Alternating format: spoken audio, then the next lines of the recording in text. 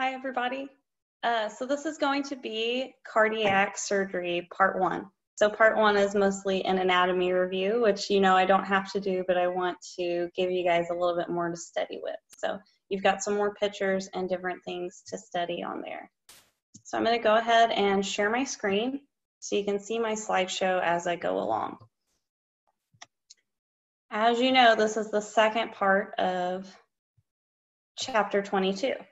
So you'll see now, hopefully, why they separated it into two pieces because it's such a big chapter and there's so much to learn in cardiothoracic. So I like how they separated it for you with the thoracic and lung surgery versus the heart surgery on this one. So I'll go ahead and get started. So I'm on page 1029. So it goes through in the introduction all the surgeries that you're going to see in this chapter, but I want you to look down at that third paragraph. So it starts talking about these patients in general, heart patients. So these are always going to be ICU patients. Because of that, they're going to have lots of extra monitoring lines in place, and they're going to have to be more involved than they are with other patients. So you can see that they'll be in an ICU bed, but I want to point out what it says at the top of that third paragraph. So I'm going to read it for you.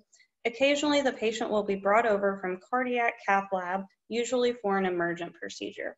So what it's talking about is if they take a patient to the cardiac cath lab, a scheduled procedure, like putting in a stent maybe. While they're trying to put in that stent, it could dissect the vessel. It could make it worse, basically. So when that happens, that bleeding can't be stopped other than opening it up and doing surgery. So they are going to have to bring the patient to the OR and quickly open up so that we can fix that surgically. So if you look at the other side of the same page, you'll see that they have the cardiac team on standby or sometimes on call if they are uh, doing a procedure in the cath lab. So it's for this exact reason. So if they're in the cath lab um, trying to do an angioplasty on a patient and they know that they, this could go badly, then that heart team is going to be available in the OR so they can quickly open and get ready for a case. So that is why that is on there. I'm going to point out another thing for you. So it tells you these emergencies require you to open very quickly and often as the patient is being moved from the gurney to the OR table.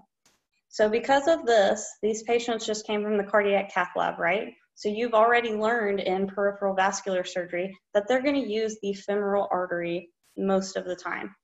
So they have all these extra lines coming out of them, they're ICU patients, and then when you go to move them over from the stretcher or gurney to the OR table, that line could get pulled out. So you get to hear the horror story that I got to see. So I saw this happen to somebody, and it was a scrub tech. Luckily, they were not the person scrubbed in for the case, they were just in the room helping out as I was. So we moved the patient over. They didn't see the femoral line, they didn't look for it, and it pulled out. The surgeon had the scrub tech put pressure on the femoral artery for 10 minutes. That is protocol. So when they pull the sheath out, when they're done with it, that's protocol. They hold with a lap for 10 minutes, hard pressure. So we had to proceed with this emergency case. So this scrub tech was under the drapes, non-sterile, holding pressure on this femoral artery as they were doing the cardiac procedure. So that is why you do not want to pull out this femoral sheath. So now you've got a horror story, so that will never happen to you. You'll look out for that sheath. Okay, let's get into the anatomy and physiology. So I'm on page 1030. So anatomy and physiology know all of the details in your book. So everything about the details of the location of the heart, not just that it's mostly on the left side, all the details, like it lies diagonally with the distal apex tapering to the left. Those kinds of details you need to know. After that, I get into the coverings of the heart. As you can see, there's a really good picture I've added on here for you. So make sure you separate the fibrous versus the serous pericardium and know that there's that serous um, fluid in that pericardial cavity. So looking at your serous pericardium, know that there's two layers you're looking for, parietal and visceral. We already know those terms. We know visceral covers the organ, but you need to know the difference between the two and that there's that pericardial space in between that is filled with that serous fluid. After that, I get into the heart wall.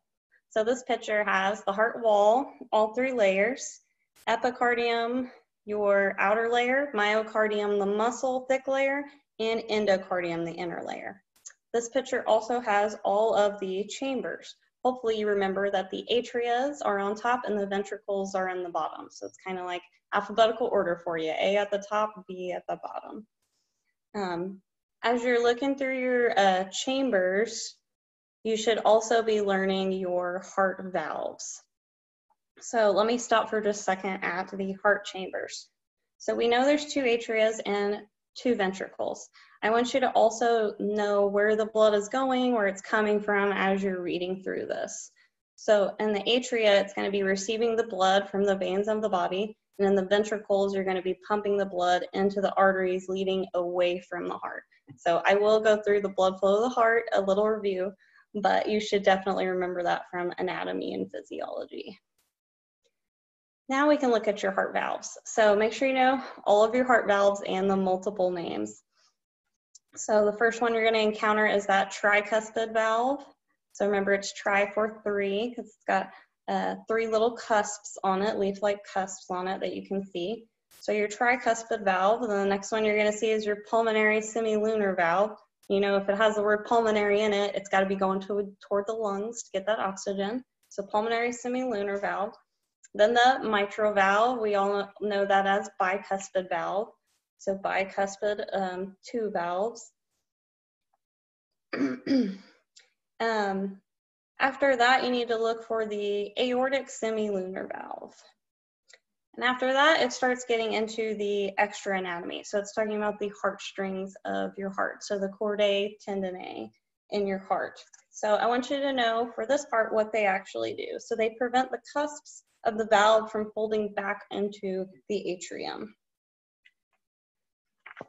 Mm, that actually brings me to the blood flow of the heart. So you can see more detailed pictures of the valves here for you to study. But let's go into the blood flow of the heart. So if you don't remember it, I'll go through it with you one last time. So I'm going to try to not actually look at your book. But if I were you, I would number this or go look at your old notes so that you can do it without even looking at the book. Because you definitely want to know the blood flow of the heart by heart now so that you can really start studying procedures. Because think about when it time, comes time to cramming for the CST, well, number one, you don't want to be cramming, but you want to be studying procedures, right? Not the blood flow of the heart. You should already know that.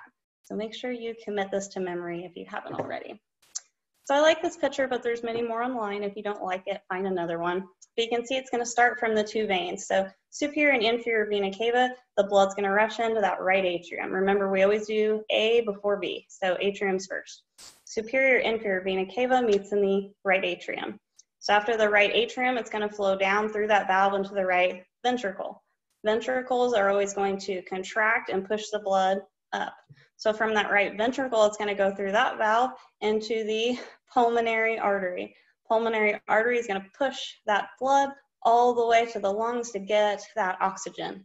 Now that we have oxygen, oxygenated blood, it's going to come in through those pulmonary veins. So see where it says from the lung from the pulmonary veins. So then we're going through another valve that, sorry, pulmonary vein into the left atrium, then we get through another valve into the left ventricle. So remember A before V again, we went left atrium, left ventricle, and from the ventricle, it's going to contract and shoot that blood up again. So left ventricle contracts, we go through that aortic valve, and we know if it's an aortic valve, it's going into the aorta. So from there, it goes to the aorta, and the blood goes to the rest of your body. So there is the blood flow of the heart review for you. Um, as you are looking through this, look at the details. So I just went through with all of the chambers, right? I told you with which uh, atrium and ventricle, you also need to know the names of all the valves as you go through it. I said a couple of them for you, but can't give it all away. Make sure you study that blood flow of the heart I just went through, adding the names of the valves as you go. With that and what is in your book, you should know everything you need to know for your exam and for your CST for the heart. So after that, I go to blood supply for the heart. So this is talking about your coronary arteries. So you need to know where they originate from, And you can see that it originates from your ascending aorta. And then you need to know the more details that are in your book.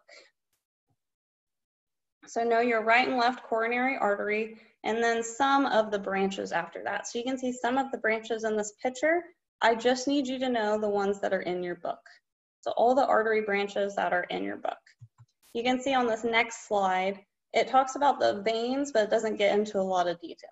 So this is your reminder for any time you hear the word sinus, and we're talking about vascular things. I'm not talking about a sinus in your nose, right? We're talking about this big vessel. So when it says coronary sinus, that's the main biggest part of the vessel um, on the heart. So that's your coronary sinus. Um, and you need to read that last bullet point about uh, blood supply, including the veins, not just the arteries. Okay, that brings me to cardiac conduction.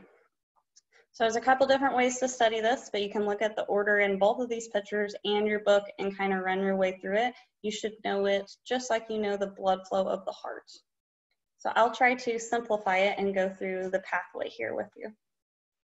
So our, if you want to make notes with this, I'll tell you when to make them when we get to the node. So we're starting at the SA node, right? So that's where the impulse is generated. So that's what nodes you can add here. So the SA node, your pacemaker of the heart, is going to generate the impulse. So that's why they call it the pacemaker of the heart. It's generating the impulse. So as that pacemaker is doing its job, generating the impulse, basically it's trying to make a pathway between the atrium and the ventricles so that whenever the heart contracts, it can contract as a full unit. So you'll see it needs to connect to the AV node. So after the SA node, it's going to go to the AV node. Here is where it's actually going to take a pause. The impulse is going to take a pause. It tells you exactly why um, in your book this allows time for the atria to empty the blood into the ventricles. But the part you need to know is the order and when things happen. So SA node number one, number two goes to the AV node and pauses. Number three, now that we have that uh, pathway between the atrium and the ventricles, number three is going to be your bundle of His or your AV bundle. So at your AV bundle, it's going to connect the atria to the ventricles, as I said.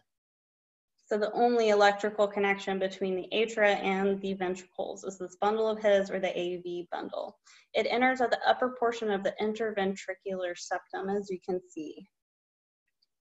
So after the AV bundle, it's going to go to the bundle branches to conduct the impulses through that interventricular septum that I was talking about. So from there, it's going to go to the bundle branches. So find in your book where it says, it talks about the interventricular septum dividing, and then it talks about the left and right bundle branches that travel along that septum all the way down to the apex. After that, your next place it's going is the Purkinje fibers. So this stimulates the contractile cells of both ventricles, and this is what results in a contraction. So your Purkinje fibers is your last step, resulting in a contraction. Your book says resulting in the contraction of the ventricle of both ventricles. So you can add that note in also. Okay, after that, What's not on your slideshow is everything about the nervous system divisions. This is something you need to go and review and study. So you'll see the book separates it for you and remind, reminds you parasympathetic and sympathetic division. What you need to study is basically which one is going to help accelerate the heart rate and heart contractions and which one is going to be responsible for slowing down the heart rate. So it goes into, in the parasympathetic division, how these fibers are actually originating in your brain and the brainstem, and the medulla oblongata. So it originates in your brainstem, then it turns into your vagus nerve, and then it terminates, it ends in your heart, your SA and your AV nodes. So you see, I want you to see this connection with the nerve fibers and the electrical impulse for your heart. So make sure you're studying more than just what's in your book about the nervous system and how that affects the cardiac conduction cycle. Okay, that brings me into diagnostic. So diagnostic imaging, you know, I like to give you a picture of everything labeled like I did for thoracics. Are you going to be tested on being able to label this chest x-ray? No, you're not still, but this is going to help you understand the anatomy better so you can have a conversation with these surgeons during the cases and better understand what's going on. So for your diagnostic procedures, um, what's not on my slideshow is echocardiography, electrocardiography, and many other diagnostic procedures that they can do that are not invasive. The ones that are invasive, I included on here. So you can see chest x-ray. Every patient's gonna get a chest x-ray, AP and lateral usually. And then after that, if you read down, I'm on page 1033. If you'll read down, you'll see the differences and what they're going to do CT and MRIs for. So CTs and MRIs are useful for evaluation of heart masses. And then it separates it further after that. So CTs are especially good for thoracic aorta dissection, and MRIs are better for detecting abnormal positioning of intracardiac structures. So something abnormally placed in the heart that should be somewhere else, you're gonna see that on an MRI. So know the difference between those. And then what's not in your book. So it gets to cardiac catheterization and all the different studies they can do in there. What I need you to add is cardiac catheterization provides the most extensive details for valve disorders. So anything that has to do with heart valve, they're going to do cardiac catheterization to diagnose, to check it out. So uh, one more time, pointing this detail out. So your book nicely in diagnostic procedures and tests says these cardiac catheterization cases could be done in interventional radiology.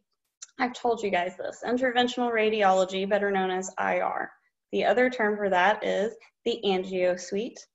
Another term for that is the cardiac cath lab. So I'm throwing all the names at you, so no matter where you're at, you will know what they're talking about, regardless of which term they use talking about the cardiac cath lab.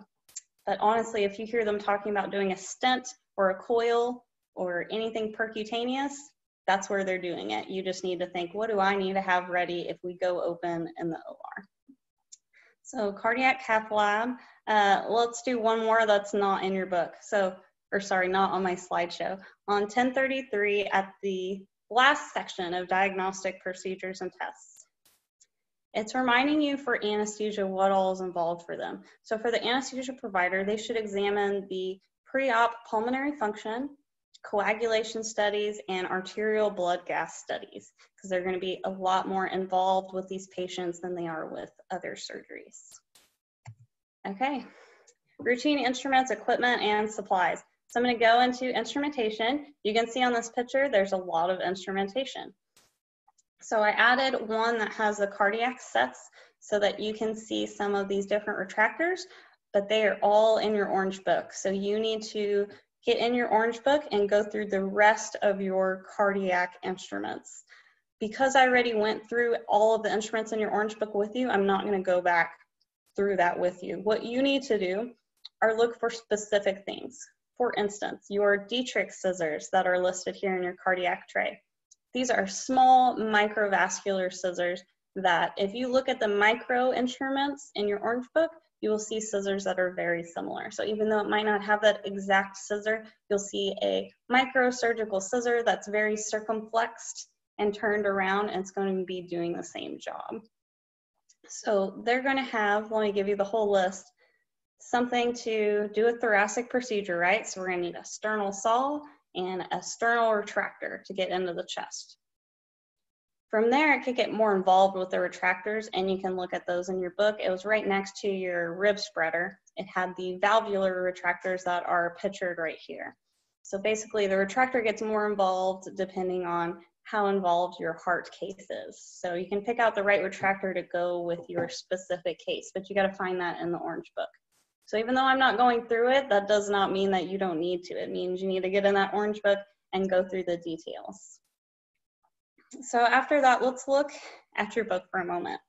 So it's telling you at the beginning of instrumentation, coronary bypass procedures, they're going to have to expose the heart, have instruments for the great vessels of the heart, have instruments to cannulize to do cardiopulmonary bypass, You have to have instruments for saphenous vein harvesting, coronary anastomosis, that's all your microvascular instruments, and Diethrich instrument tray, more small instruments.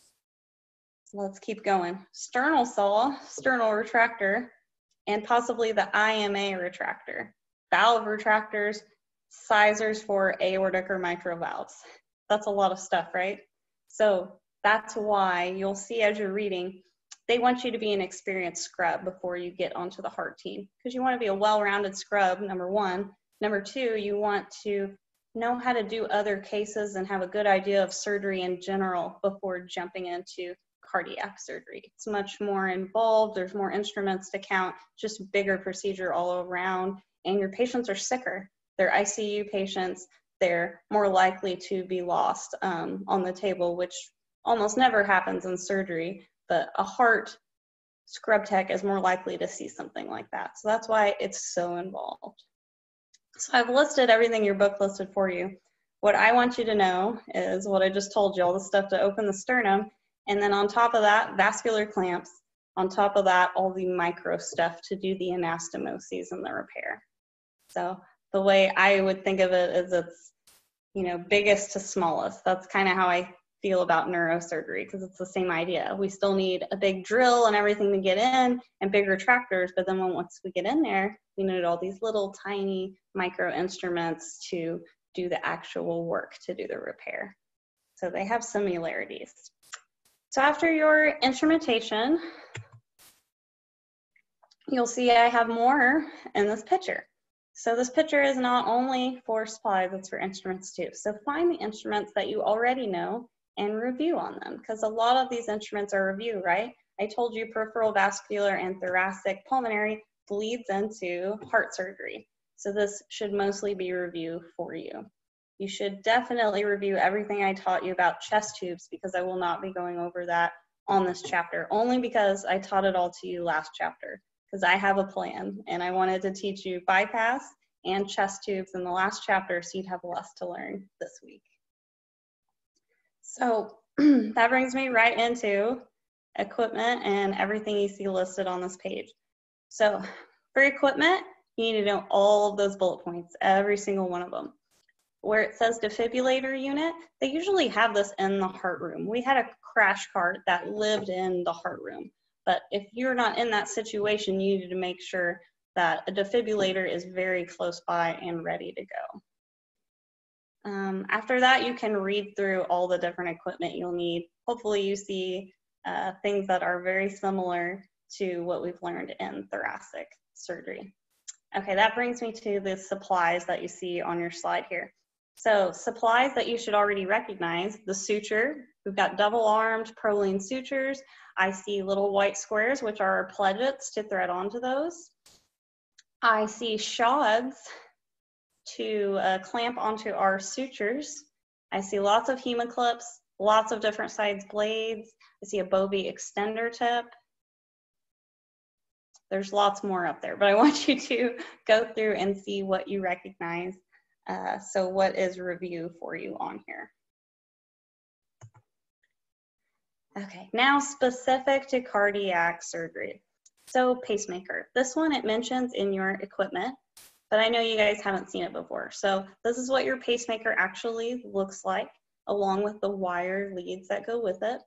The next picture are your cannulas that you'll be inserting for bypass. So even though we learned bypass last week, I will be going over some details and now I got the arrow pointing at those uh, cannulas so you can see what the cannulas are going to look like that we're going to put inside the heart so that we can go on bypass. And then lastly, I have your defibrillator on the heart in here. So this is your internal defibrillator. So you guys probably have not seen that one before. So this usually is attached to the crash cart also, but this could be a secondary item that is blue wrapped. So for a lot of heart cases, you will open this and have it open and ready to go. So it's not a thing of, oh, we need it now, open it. It's already open. All they have to do is stay clear and have everybody not touch the patient before we shock the patient. Okay, so that's some more of your equipment and supplies. Remember, I did the specific cardiac surgery supplies. The rest of it should be review for you for sure. especially the chest tubes. Okay, so that brings me to cardiopulmonary bypass. So you've already learned it, you've watched the video, you understand what's happening, I hope. If you don't, you should go back to last week, watch those YouTube videos and really understand the heart-lung machine. So first of all, you're gonna learn in your book that it's called a pump oxygenator. I want you to know both terms. So pump oxygenator, AKA heart-lung machine.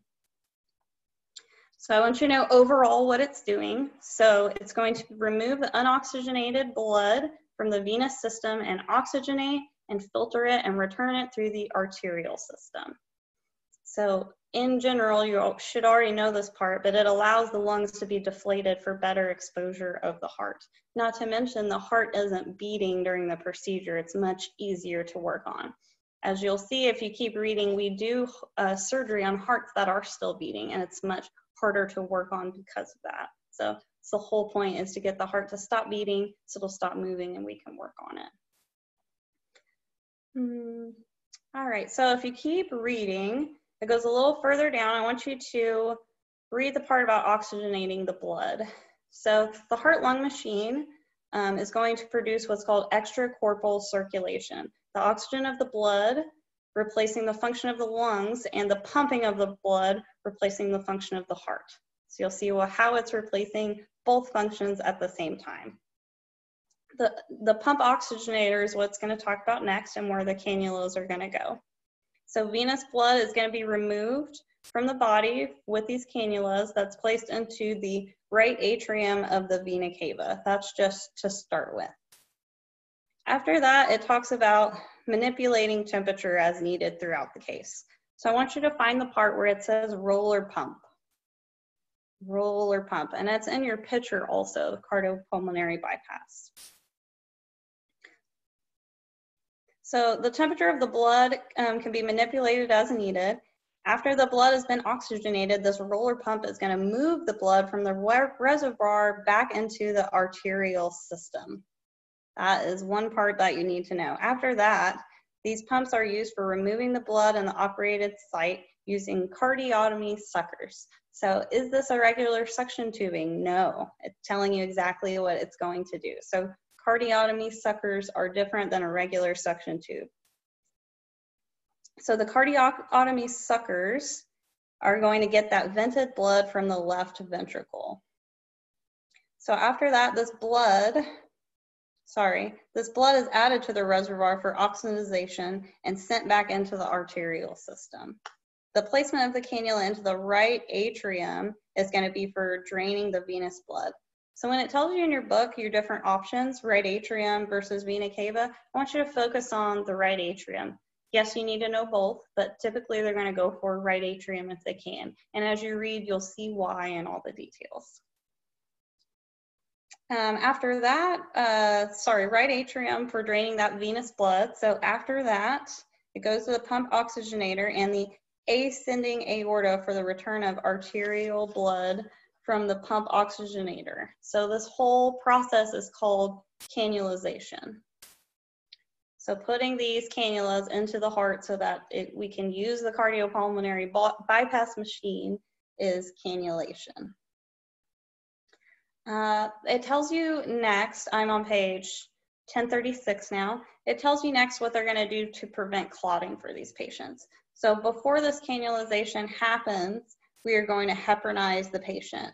So we're gonna give heparin um, administered by anesthesia. That's going to tell you what happens after the cannulization. So after venous and arterial cannulization, we're going to have some more tubing from the pump oxygenator and it's going to be attached to the cannula. So this is extra tubing that's going to be put into the heart. From here, the connectors between the pump lines and the arterial cannulas are made and they're going to take care to make sure that there's no air bubbles inside. We don't want to put air into our circulatory system, right? We only want to put blood. So they're going to be looking for bubbles and preventing air bubbles from getting into that bypass circuit.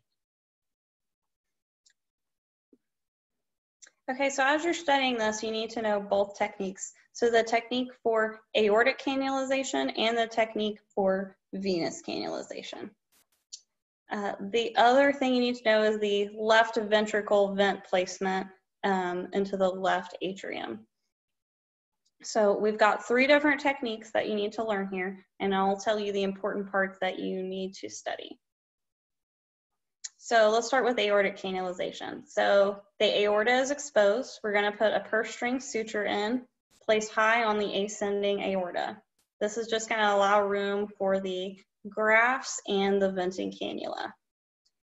After that, and I'm leaving out lots of details, after that, we're going to cut those needles out of the way and we're going to apply that Satinsky aorta clamp to the aorta. After that, we're going to make an incision, an arteriotomy into the aorta, and that's going to be right in between those purse string sutures. After they get everything where they would like it, and then the cannula is allowed to fill with that arterial blood, then we're going to hold that cannula in place. So the cannula is going to be held in place by rubber catheters or tourniquets. A lot of times they just call these keepers, just like it says in your book. A heavy silk suture is going to be tied around these cannulas or rubber keepers to make sure that they stay into place. So that's your aortic cannulization. Let's look at venous cannulization. So very similar process. Note what is different. So I'm going to start with what's different. Number one, a single purse string suture is placed into the right atrial appendage. So instead of a double purse string like we did with aortic cannula, we're doing a single purse string. You do need to know that. These needles are still going to be removed in the same manner. We're still going to place that Satinsky clamp in the same manner and place our venous cannula this time. So that venous cannula is going to drain the blood from that right atrium and inferior vena cava and all of the veins. We're still going to apply a heavy silk suture around that cannula or the rubber keepers to keep it into place. After that, we're going to talk about left ventricle vent placement through the left atrium, very specific. This one is going to be a single purse string suture also. The small incision is going to be made into the pulmonary vein this time. And this one is going to be a venting catheter. So it is a different type of catheter. It's not a cannula. So a 20 French left heart venting catheter is inserted and guided into the left ventricle. The venting catheter is attached to suction line from the pump oxygenator. So everything's going to be connected to that pump oxygenator. What you can add underneath this left ventricle vent placement is the purpose of it. So this is going to be reducing the metabolic needs of the heart during this surgery. So that's why we do left ventricle vent placement. You can see more about the vent placement at the top of 1036. So it talks about for optimal visualization during coronary artery bypass procedures, left ventricle venting is accomplished with the cannula placed um, into that left ventricle. So this allows them to insert that cardioplegia solution administered through the aortic puncture site. Okay that's the beginning of all your different cannulas for cardiopulmonary bypass. Lots of details there. So I especially like this picture because you can see where they're actually going to put the aortic cross clamp, where the venous cannula is going to go, and where the arterio cannula is going to go. So hopefully the combo of this picture, the videos you watched last week, and this picture, now you really understand what's happening in bypass. So let's look at what it says in your book on 1037. So myocardial protection during bypass is accomplished with systemic hypothermia. So it's telling you we're going to cool the patient way down in addition to doing all of this with the heart-lung machine. Okay, so hypothermia reduces the oxygen demands of the myocardium, that heart muscle. So this technique is utilized most often for cardiac procedures. After cannulization and starting bypass, a Fogarty cross clamp is placed across the ascending aorta. So that's what you see in this picture, right where it says cross clamp and there's a big X. That's where we're placing our uh, cross clamp over the aorta. they are going to start administering that cardioplegia solution at this time. So it's very cold and it's going to inhibit myocardial contraction and a paralyzing solution. So it is paralyzing the heart and stopping it from beating. That's what that cardioplegia solution is going to do. So after that, it talks about specifically retrograde. So that is pictured right here on the slide. So retrograde administration of cardioplegia is useful for second operations, for coronary artery stenosis, or for valvular procedures. So all of these decisions are made up by are made by the surgeon. So they know more details about this and all of the anatomy. So they are going to decide whether there needs to be retrograde um, or antegrade on this administration of the cardioplegia solution. But it's a cold solution that we're putting into the heart to uh, basically start systemic hypothermia. So after you read about retrograde administration, go to your next paragraph. It talks about what you need for cardioplegia infusion as the script text. So you'll need ice slush or ice cold saline, and we're gonna place this around the heart. So any scrub, even students who have worked in the heart room know that we keep cold solution around the heart because a lot of times during a CABG as a student, that will be your job is simply holding the heart. So as they do their anastomosis and sew on the heart, they if they have a student in the room, they'll have the student hold the heart because all you're doing is holding the heart still. The hardest part for me was it's ice cold literally because we got ice on it. So it was just being very still and not moving a muscle even though in your mind you're shivering because you're so cold. But yes, we'll place ice around the heart. Some that, sometimes that can be with a ice cold lap, so you can make that note in there. So the whole purpose of this is at the end of that paragraph. So this is going to reduce the oxygen demand on the myocardium of the heart by half. So we need half as much, much oxygen as before. So this allows us to stay on cardiopulmonary bypass and do these procedures. So there is your bypass with all the details. And again, you can go back and watch those YouTube videos if you want more details on bypass surgery. So that brings me into the pathology. This is the end of my slide. So uh, CABG pathology. So I'll go through a couple of these and then tomorrow I'll start with your cabbage procedure. So coronary artery bypass graft, everybody better know that that's a cabbage by now. So know what these cases are for, know the pathology behind it. So all these risk factors are on your slide for you so you can see some of the risk factors. Know everything that's listed in your book. I will go through a couple. So age, gender, race, genetics, hypertension, cigarette smoking. Very uh, high on the list of pathology of risk factors for coronary atherosclerosis. So look at your term atherosclerosis. So I put this picture on here so you can see the different stages of the plaque formation, basically, of this uh, atheroma forming inside of the vessels. But it talks about this through a couple different pages, so make sure you read it all. So atherosclerosis describes this condition that involves the formation of the atheroma. You need to know the order. I only put step one on here for you so you can study all the other steps. But step one is going to start with injury to the endothelial lining of the arterial wall. So you can see on your slide here it says endothelial dysfunction. So it's starting to form on that um, wall and protrude out. So there's a good picture in your book also on 1039 so you can see the next steps of the formation and what happens next. Well, In fact, look at that page, 1039. So I want you to know what this links with.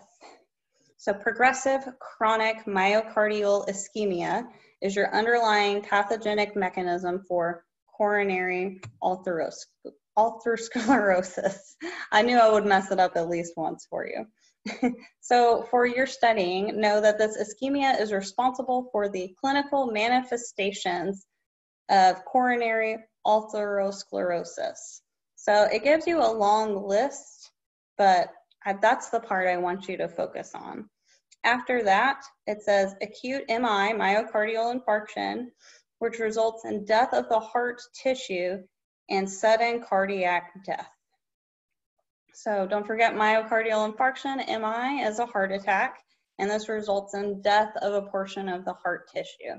So basically, this plaque can cause stenosis, can cause the blood from not pumping as it normally should, and could eventually cause death of cardiac tissue. So that's what you need to think about as you're reading through this. So read all the details, know what you need to know for the test, but I want you to understand the bigger picture of what's really going on with this pathology. All right, so let's read one more down after that. So what I was just talking about, sudden occlusion of a vessel. So this could be from this plaque forming. Sudden occlusion of a vessel results in acute myocardial infarction, a heart attack, and treatment must be immediate. So this patient just had a heart attack and the treatment must be immediate. The area of damage um, from the heart attack depends on the coronary artery affected and the amount of myocardial tissue severed by the artery. So basically it all depends on how bad the heart attack was. If you'll flip it over to page 1040, I go into the coronary artery lesions. Perfect.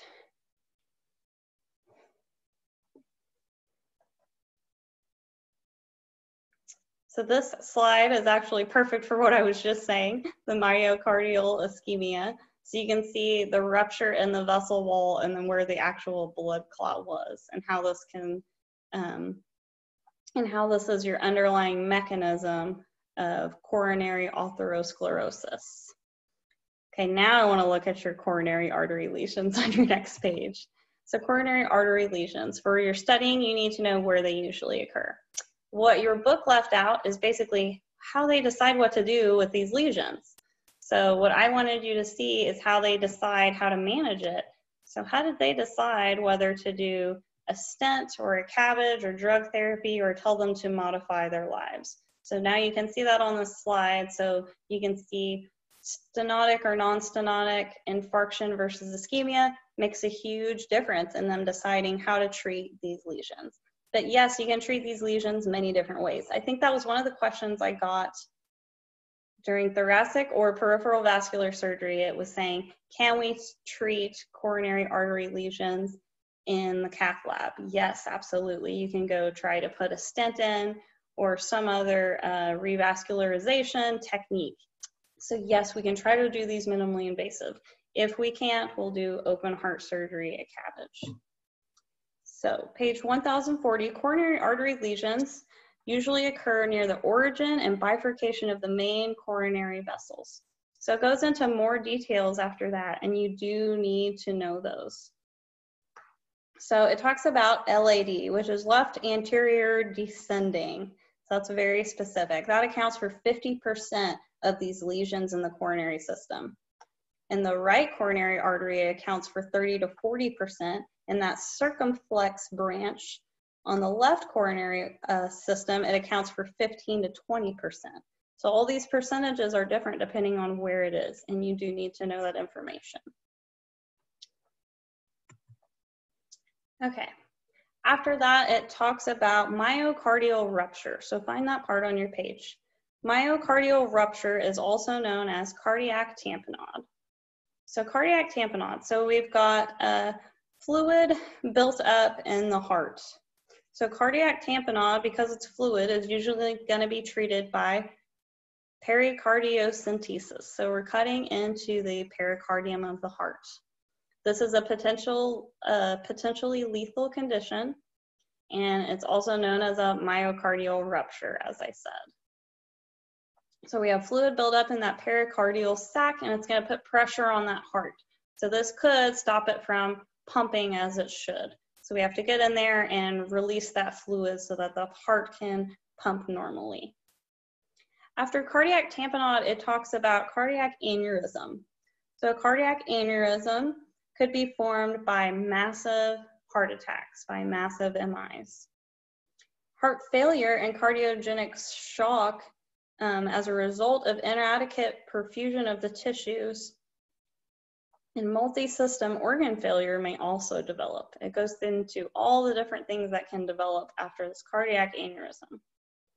On top of that, you could have cerebral ischemia, irreversible drain, brain damage, and it could also affect your kidneys. They're most often damaged.